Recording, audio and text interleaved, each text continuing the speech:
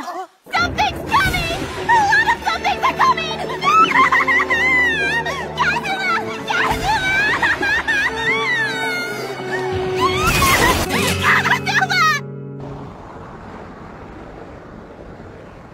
Before the gators, Aqua just sat there thinking her goddessy butt was enough to purify the lake.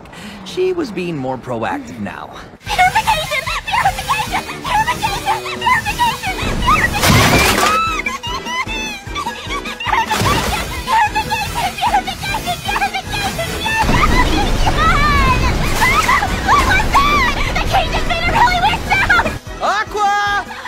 Call it a day?